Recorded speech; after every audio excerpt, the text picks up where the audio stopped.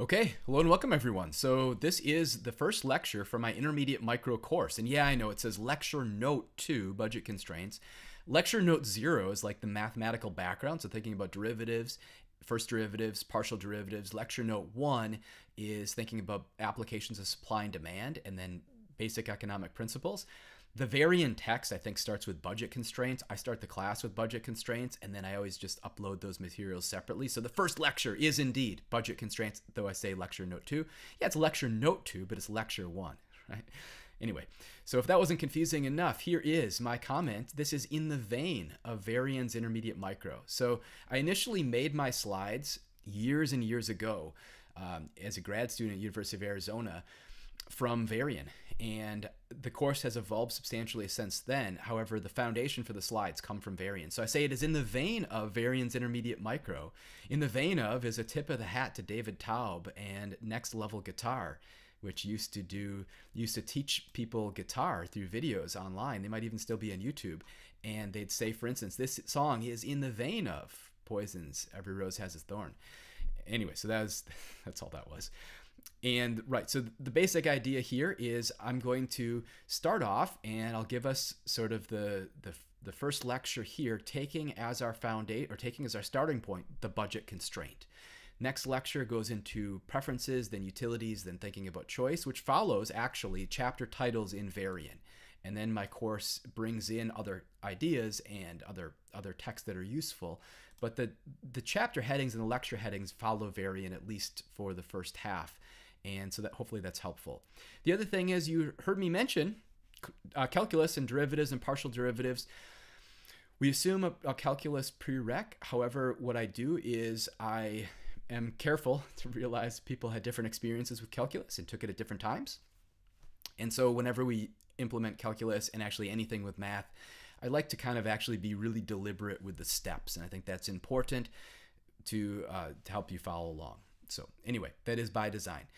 What we will cover today is thinking about budget constraints. This gives us one of the foundational concepts necessary to analyze consumer choice. Consumer choice involves thinking about constrained optimization, thinking about optimization, doing the best we can given the constraints we face, given the best we can given the situation. So, well, doing the best we can follows directly from the consumer's preferences. They have preferences that help us assess what is the best. What is the best we can follows from, given the circumstances, follows from uh, the budget constraint, thinking about what are the limitations faced by the income, the money we have available, and the relative prices of things in the economy. Right. And so right now we're going to focus on what, what are the limitations placed on consumer choice from the market. So I'll start off talking about the budget set. The budget set is a consumption or a set of consumption combinations that are affordable. This looks scary. I'll talk about it. it it's going to become very much less scary really soon. All we're going to care about actually is going to be this right here, what I've got highlighted. But I want to show where it comes from. So the budget set is giving us the set of consumption combinations that are affordable. This is giving me the amount of good one. This is the amount of good two. This is a consumption bundle in parentheses.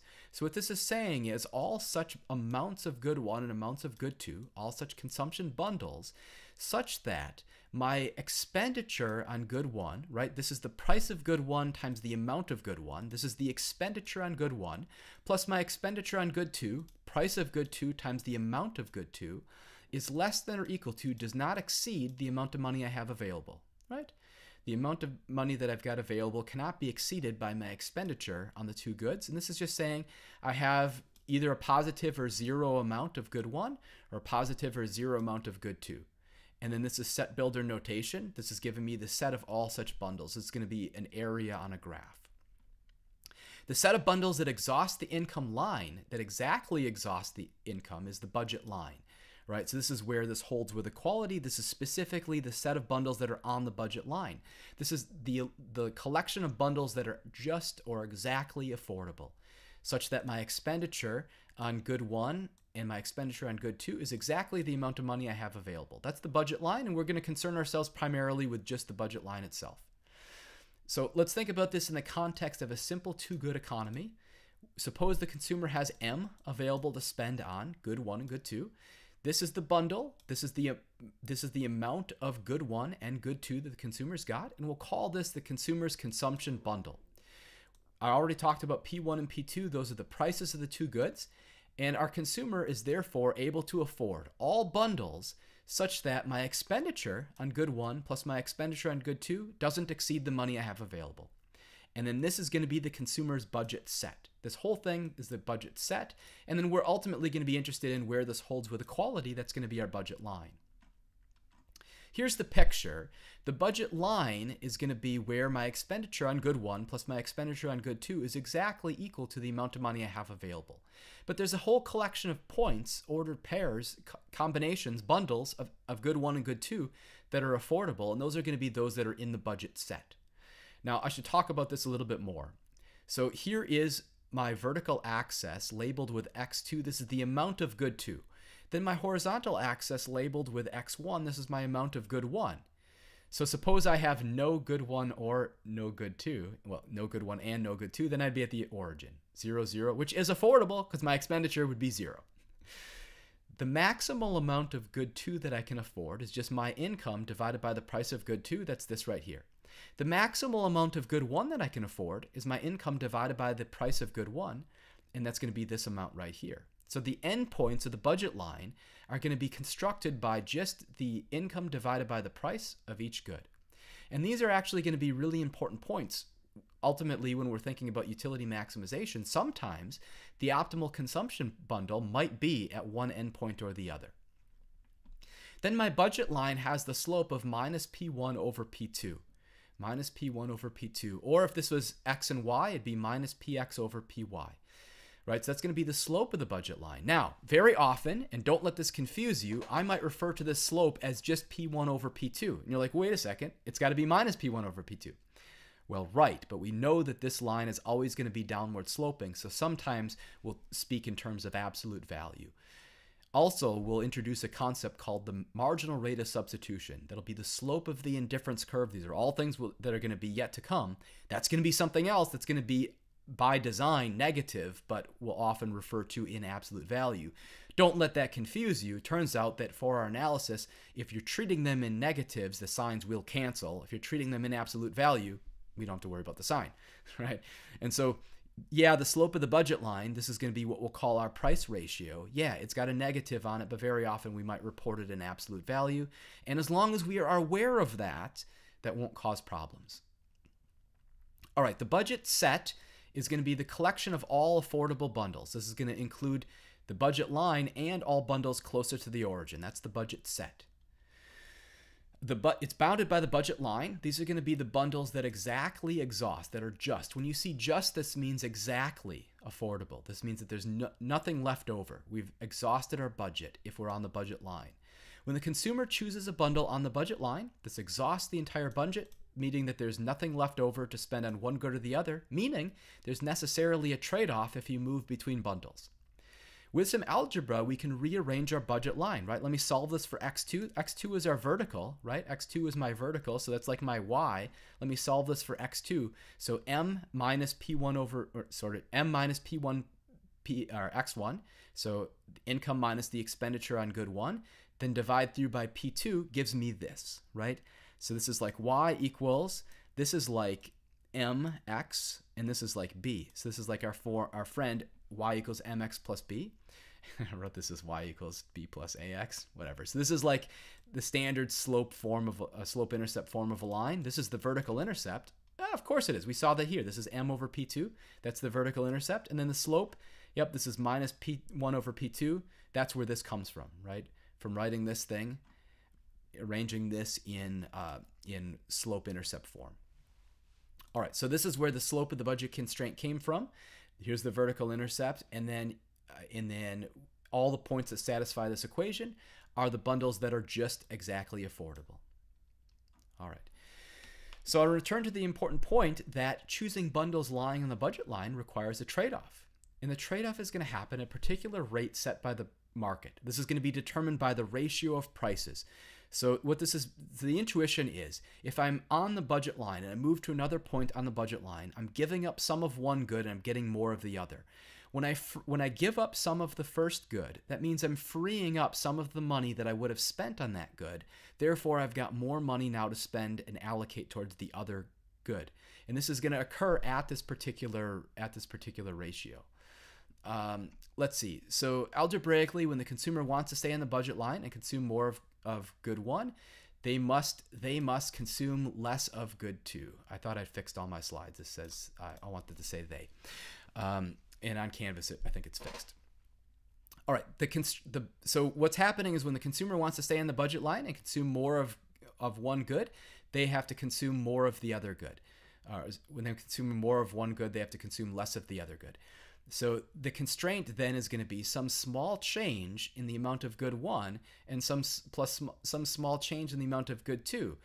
And then this is just sort of an algebraic manipulation coming from Varian. If we subtract the original budget line, we would get the change in good one, the, the change in the expenditure on good one, plus the change in the expenditure on good two has to be zero. Why? Because when we're moving along the budget line, we're not getting additional money. We are just reallocating where the money is going.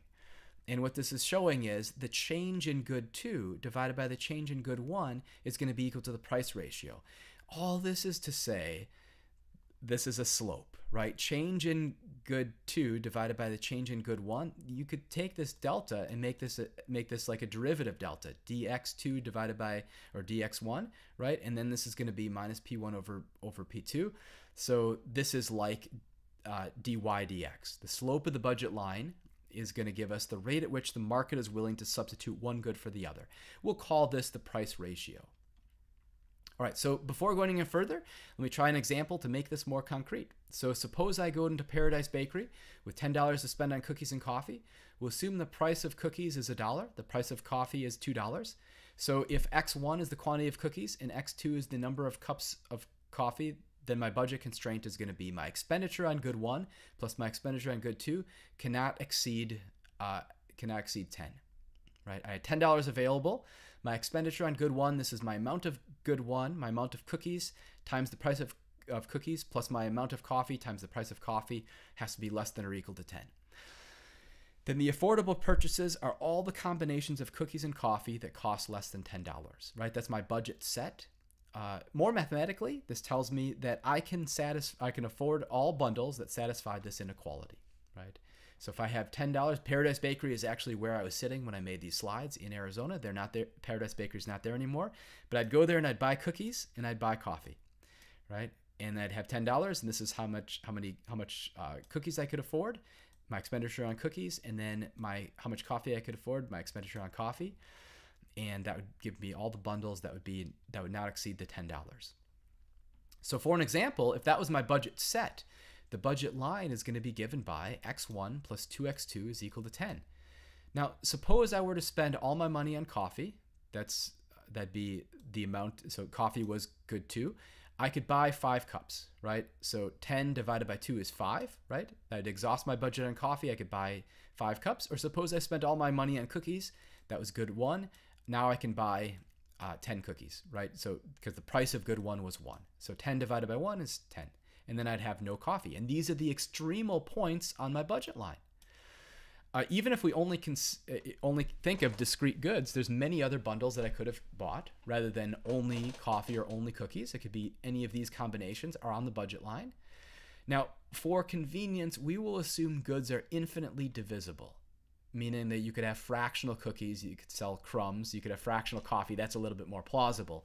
But the idea is we'll typically assume goods are infinitely divisible. So does that make sense? Well, we can always change our units. So suppose I'm not talking about like half a cookie, but I'm talking about half um, half a dozen cookies, for instance, right? If you vary the units, then you can make then you can make uh, you can make the you you could make this a little bit more um, a little bit more plausible.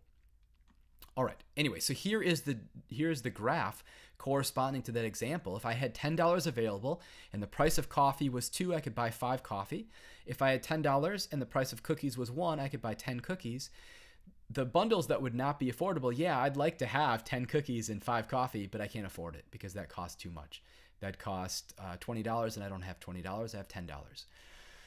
The budget set would be all those that are affordable, but you know, maybe I'd want to exhaust my budget. Maybe I'd want to spend all $10 that I'd allocated to coffee and cookies. And so to do that, I have to be on the budget line. Yeah, the budget, the slope of the budget line in this case is going to be one half or minus one half. I'll probably just refer to in absolute value because the price of coffee was uh, the price of coffee was two, price of good two. The price of cookies was one, price of good one. So minus one over two gives me my slope of my budget line. All right, so here's an exercise. Suppose you have income of $40 to spend. Commodity one costs $2 per unit. Co commodity two costs $10 per unit. Write down the budget constraint. Um, let me see. So typically, I had not, I'd forgotten that I had this in here. So typically, we do this on the board. And this one's, I mean, you probably got this already in your mind, right? If you have ten dollars, if you have forty dollars, that's going to be my income. Uh, commodity one cost two dollars, so it's going to be two x plus commodity two cost ten dollars. 10y equals 10. This is going to be the budget. This is the budget line. All right, while traveling abroad, Anne spends all the money in Anne's purse to buy five plates of spaghetti, six oysters. Spaghetti cost eight units of the local currency. Anne has 82 current units of currency in Anne's purse. If S denotes the number of plates of spaghetti and zero denotes the number of oysters per, uh, purchased, write down a budget constraint to describe the set of commodity bundles that Anne could afford with the money in Anne's purse. Uh, I'm going to leave this one. This one shows up as a quiz question, but you think about it. Should I have said that? I don't care. So, anyway, think about this one, and um, and you could think about uh, so quiz questions some semesters. I'll say that. So think about what this would what this would be, and I'll maybe if I maybe if I remember, I'll put this one in in the in the description. All right. As mentioned earlier, there's trade-offs between goods. So when we're choosing between bundles on the budget line, the slope of the budget line gives us the rate at which the market is willing to, to substitute, right? We're thinking about trade-offs. Some of the trade-offs are governed by the market based on the relative prices. Some of the trade-offs are governed by our preferences. We have not yet said anything about what the consumer actually wants. Right now, we're focusing on the budget line. This is just what the market allows. Suppose I'm currently at the at the bundle where I'm spending all my money on coffee. I've got 5 coffees. If I want to stay on my budget line but buy some cookies, clearly I have to give up coffee to be able to afford some cookies. Each cup of coffee that I give up gives me $2 to reallocate towards cookies. So suppose I bought one less coffee, now I don't have the $2 that coffee cost. I can spend those $2 on two cookies to remain on my budget line. The change in my consumption of coffee, change in coffee is a dollar. Change in, or change in that this is an amount. The change in the amount of coffee is one. The change in the price was freeing up two dollars. The change in my consumption of cookies was two. So I gave up one coffee to get two cookies. The price ratio then the, is going to be equal to the change in coffee, that was one, divided by the change in cookies, that was two. That's equal to the ratio of their prices, one to two, right? My change in consumption of cookies, this is outputs or um, amounts, right? I got two more cookies, that's the denominator here. I got one less coffee, that's one. The price, the ratio of prices, right? Price wasn't one and two. The price was uh, the price of good one of, of cookies was uh, was one, and the price of good two coffee was two, right? So minus one half. So now now we're talking about prices, right? The the ratio of the change in goods is equal to the ratio of the change in uh, in their prices, right? So this is the price ratio is governing the the trade off between the consumption of one good for as I'm reallocating towards consumption of the other. All right, and we see that moving along the budget constraint. Here is a more complicated budget constraint example, and there's some like this on the on the on the practice exercises. Suppose I have $20 available. The price of coffee is $3. The price of cookies depends on whether I buy more or less than $10. So the price of the price of uh, cookies is one initially if I buy less than or equal to 10. It's three if I buy greater or equal to 10. What will my budget constraint look like? All right, so probably pause the video and sketch this out for yourself. I'm going to show the solution. I'll walk through it because this is a this is a complicated enough one where I want to make sure to go over it. Okay, so here is the solution. And I'd done this previously. The the first thing, remember the the price of good 2 is always 3. So then the price of good 1 changes. This means that the slope of the budget constraint is going to be different at different points. We know my vertical intercept. It's going to be 20 divided by 3. So I can go ahead and mark down the vertical intercept immediately. And we know the slope over the first 10 units of good 1. It's going to be 1 third, 1 divided by 3, p1 over p2. We know the slope of the, of the rightmost component, it's going to be 3 over 3, it's going to be 1. So that's this right here, right? So the steps for solving one of these, where it changes, is first find the intercept corresponding to the price that doesn't change. Well, the price of good 2 is always is always 3 and I had $20 available, so I know my vertical intercept is always going to be 20 thirds. The next thing to do is find the expe- find the break point. It was at 10, buying 10 units of good of good 1. After 10 units of good 1, that's the point it changes, and then find the expenditure to getting to this point. Well, those 10 units, the first 10 cost me $10 because the price for the first 10 is a dollar. So I have expended $10 to get here. Now find what you can do with those $10. I can buy another collection of cookies. This is also going to cost $10, right? But it's going to be 10 divided by 3 is going to be the amount I can afford. So I'll add to the to the 10 that I'd originally consumed, I can add 10 thirds more. I'll talk about that over here in a second. Or I could spend those $10 on this good, and again, that's going to cost that's going to cost me $10 and I can get 10 thirds of those because the price of good two was 10 or was three. So the steps. First step is find the vertical intercept for the price that, in this case, find the intercept for the price of the good that doesn't change. Okay, so 20 divided by 3, that's this. Find the break point, it's 10. Find the amount that you've expended to get here. Well, if I consume 10 cookies, I'm now at this kink point which means I've lost $10. I had $20 originally, so I have $10 that I can spend on something else. I could allocate those $10 to coffee. If so, I'd move up to the budget line. That would be, I could buy 10 thirds coffees. So I'd be here. So this point is going to be 10 cookies and 10 thirds coffee. This is the ordered pair 10, comma, 10 thirds. Or I could continue buying cookies. That's going to give me another 10 thirds cookies. So this this point here is going to be the ordered pair 40 over, over 3, comma 0. So what's this going on here? Well, I like working with improper fractions and I, rather than decimals. And in general, the way that I write my exercises and the way that I write exam questions are you should use improper fractions because it makes things simpler because there's nice canceling that can happen. So whenever possible, I'm going to write this as 40 thirds instead of as 10 as 13.3. Also, there's, there's rounding issues and truncating and stuff like that. So let's just keep the fraction. In doing so, what I want to do is I'm going to say I'm going to have 10 thirds cookies here. I need to get a common denominator. Rather than thinking about 10 cookies, I can think of that as 30 over 3 cookies, right? 30 divided by 3 is 10 plus 10 thirds. So let me write this as 30 over 3. That gives me 30 over 3 plus 10 over 3 gives me 40 over 3 cookies, right? So this gives me this endpoint. Notice, as I was saying before, the slope of the first portion of the budget constraint is indeed minus minus uh, 1 over 3. It's going to be 1 third, minus 1 third, so minus p1 over p2 is the slope of the budget constraint. And the slope of the second component, the rightmost component, is going to be minus 3 over 3, or minus 1. All right, so that's how that exercise works. Very good. Oh, we haven't done this yet. Puppy study break. Here's the puppy study break. So this is my puppy. This is Onyx. We call her Ani. So Ani is at the top of the stairs looking down at me, wondering where I'm going. I'm going to make this video. All right. Um, so, so far, we haven't said anything. Uh, we've only considered what the consumer can afford. We haven't said anything about what the consumer actually wants. We will get there when we talk about preferences and utility. First, let's think about some additional things with the budget constraint and then close out this lecture.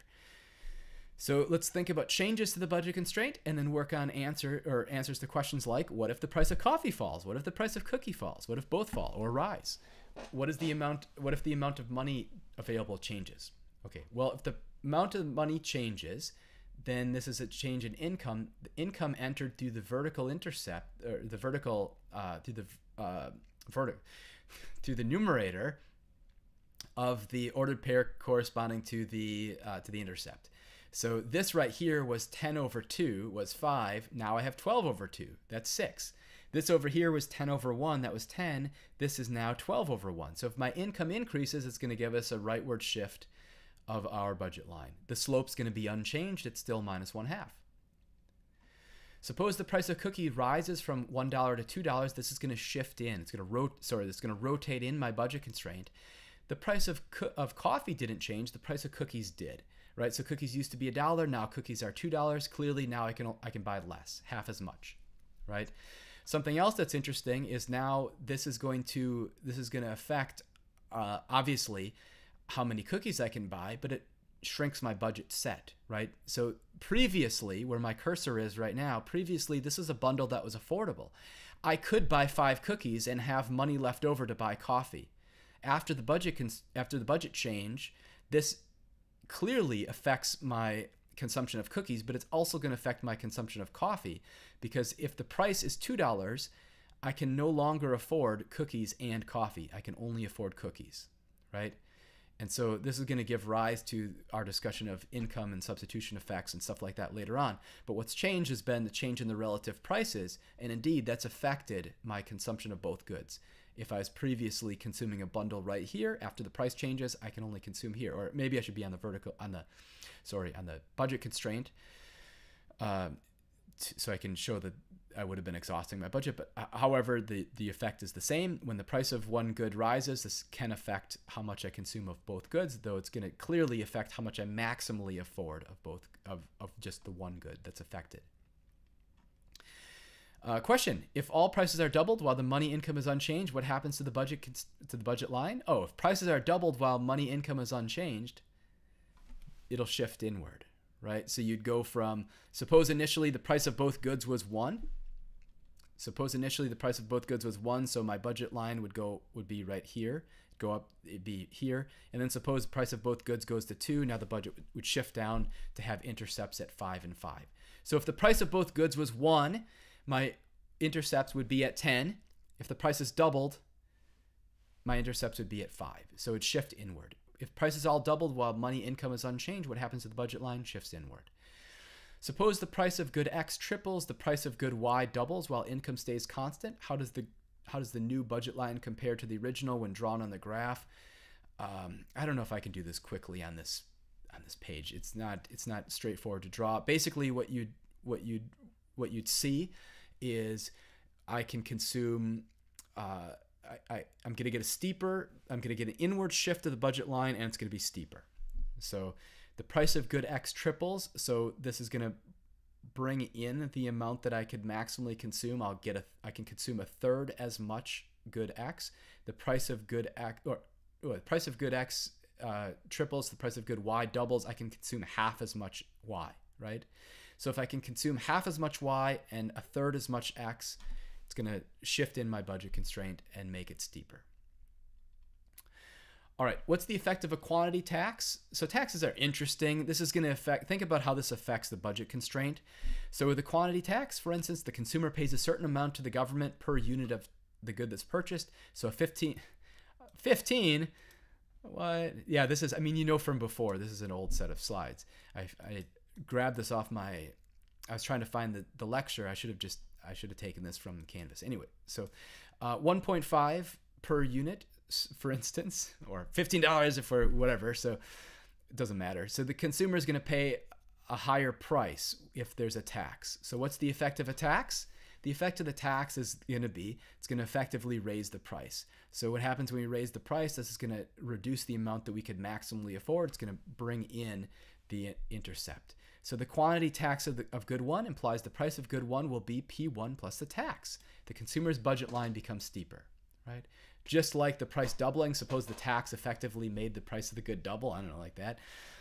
What's going to end up happening? It's going to shift in the, it's going to shift in the, or rotate in the budget line. It's going to make the budget line steeper. What about an ad valorem tax? So this this gives a tax on the price. So this would be like a sales tax. All I care about here is convincing us that this is going to have a similar effect. So if the price of good one is P1, it's taxed at a rate tau, the consumer is going to pay uh, P to the supplier and then tau times that price to the government. This is like a standard sales tax. The total cost to the consumer is going to be, well, suppose the tax rate tau was 5%, then this would be the total the total cost to the consumer would be 1.05 times P, right?